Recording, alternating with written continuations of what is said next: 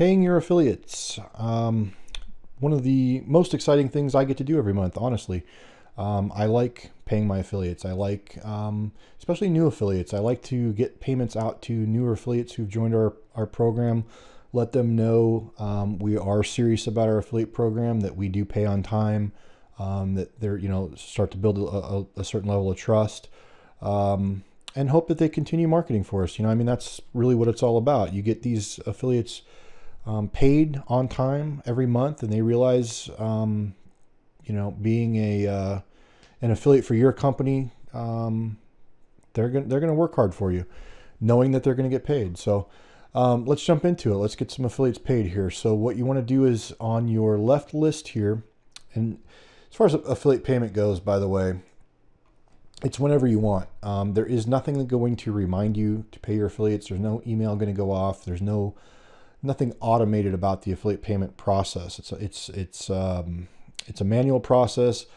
I personally like to do it once a month. The first of the month, you can pay your affiliates once a week if you want, um, bi-monthly, monthly, however you want to pay your affiliates. Totally up to you. When you're ready to make your affiliate payment, just simply log into your uh, admin center here and click on Pay Affiliates. You'll notice we've got a couple different options. We're going to cover them all. You've got an individual payment and you've got a, a PayPal mass payment. Um, I'm going to start left to right here and jump right in. So your standard method of individual, you'll notice I've now got myself a list of all of my affiliates who need paid and for how much. You'll notice I've got three, four, five, six total commissions going to a total of four affiliates. So my six commissions, I can see them right here. They're currently approved, six, right? So if I take a look at them, I've got, here's my uh, one account that's totaling 300, uh, 100, 100, 100. Then you've got 90, 1, and 10. If I pay my affiliates again, here it is, 391 and 10. So you understand these numbers are going to match here because these are, are currently approved um, commissions. Once we pay them, they're going to come out of this list um, and over into the archives, which you'll find up here in the reports section um, in your affiliate payout. So um, couple things to talk about here. Notice up here it says current minimum payout balance, none. Um, what the minimum payout balance is, and it's optional to use, is you can set um, an amount that an account needs to get to before becoming um, due and payable. Um, so assume, let's, we can do it. Um, just click on adjust payout balance requirement here, or you can actually go to your system settings, general settings, and then general settings tabs tab here. Let's set it to $100 and see what happens. So if we change our minimum balance requirement to $100 and I go to pay affiliates, you'll notice some of them came off. Um, and only the account that's actually meeting the $100 or above, obviously, is going to show up on the list. The other accounts are going to do exactly what this says here. They're going to roll over from month to month. It tells us we've got some affiliates that haven't met our minimum payout balance requirement. Why would you use a minimum payout balance requirement? Um, one example, take us for example, we have a $100 minimum payout balance requirement in our affiliate program. Um, and the reason is we would like our affiliates to generate at least um, three commissions before becoming due and payable.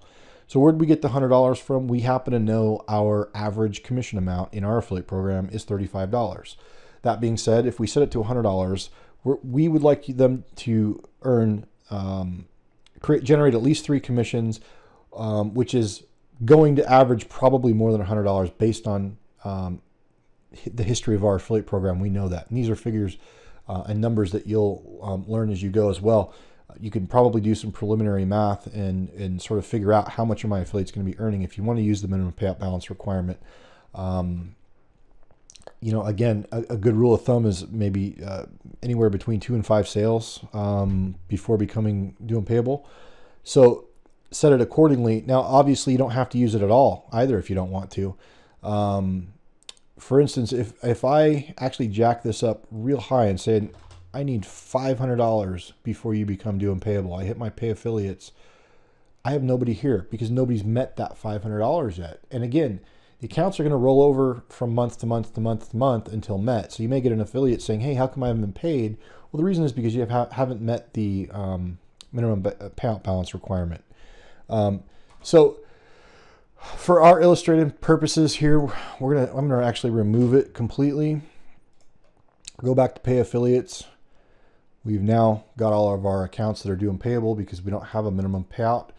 Um, so one by one, just go to the um, payment from here.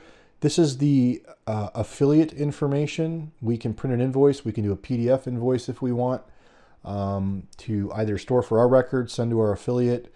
Um, the tab up here, commissions in this payment, if you click on that tab, it's going to show you all the commissions that are in this particular payment. Remember, it's $300 for a total of $300.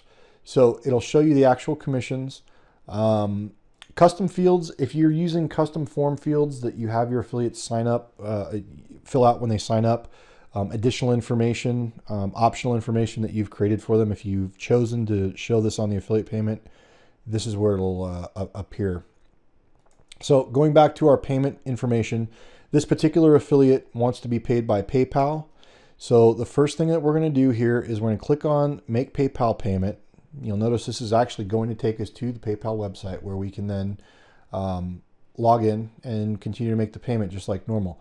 Once payment is made, you want to um, do step number two here, and it's incredibly important you do this. You have to click the archive this payment button. If you don't, iDevAffiliate will never know these commissions were paid. You've now made the payment to the affiliate, yet the account still says um, you've got due and payable commissions. Now, complicate this with next month when there's even more commissions added in. Now you have to figure out which commissions were paid last month and which are still due etc. It's going to become a nightmare if you don't hit this archive. So this is the most important. Again, we should probably make this actually red. Um, the button itself, make it red because it's so important. If you don't, you, have got to click that once the payment goes off. So um, that's it for individual um, payout. Um, the only other option you've got in that section is um, date range. Um, again, I'll just pick a the complete range. But you'll notice we now have a date range here. So it's only going to give us commissions within the date range um, chosen. Um, so if, understand how this works. The date range is based off the date the commission was generated, not the date the commission was approved. So if the commission was created January 15th and you didn't approve it until February 15th, and your the date range that you're picking um, is, you know, February 1st, it's not you're not going to get that one particular commission that I'm talking about in this list because it was created back in January, even though it wasn't approved until February. So know how the date range works there. Um, when you do pick a date range, of course, you're only going to get commissions um, within the date range. And again, commissions, the, the, date is based on the date it was uh, created. Um, so again, we're in date range. Um, this happens to be, I happen to know, before we started the video, I happen to know this is a tier commission. So if you go to uh, commissions in this payment, you'll see that it's uh, the commission type is a tier commission. This could read um, standard commission, tier commission, override commission, recurring commission. There's a couple different states this could read, some, a couple different types. Um, and you'll see a mixture of them in, in here if you're using tiers and overrides. Um, so that's basically it for individual payment. Moving on to PayPal mass payment, if we go to our standard method, you'll notice the first thing we read here, it says only affiliates with a PayPal account appear in this list. And the reason is because this is a PayPal payment, right? So when you enabled, um, we can go to it. When you when we enabled our our PayPal payments, we made a decision. Do we want to require a PayPal account? Yes or no? If we pick yes, every account in your affiliate program will have a PayPal account on it. Um, if we pick no, only some might. You know, some may have chosen yes, pay me through PayPal. Others say no, don't pay me through PayPal. So only the accounts that actually have a PayPal account added to their affiliate account will show up here. Um, and if you have some that aren't, it'll actually even show you. And we do, we do have some that aren't because remember we had four affiliates that were due and payable. We only have two in this list now because these are the only two that actually have a PayPal account. If I go and view the account record and I go to commission and payment, it says yes, uh, pay with PayPal. And here's the uh, PayPal account, um, which is not real by the way. Um, so The other two accounts aren't showing up there because they're not they don't have a PayPal account. And it even says you have affiliates due, due for payment. They do not have a PayPal account added to their account. These affiliates will need paid using the individual affiliate payment. So once you've completed this um, mass pay, you still are going to need to come back over here and go into your standard method. You're now going to see the, the, the remaining two accounts that you'll need to pay individually. Um, because again, again, they can't be part of the PayPal mass payment if they don't have a PayPal account on their account.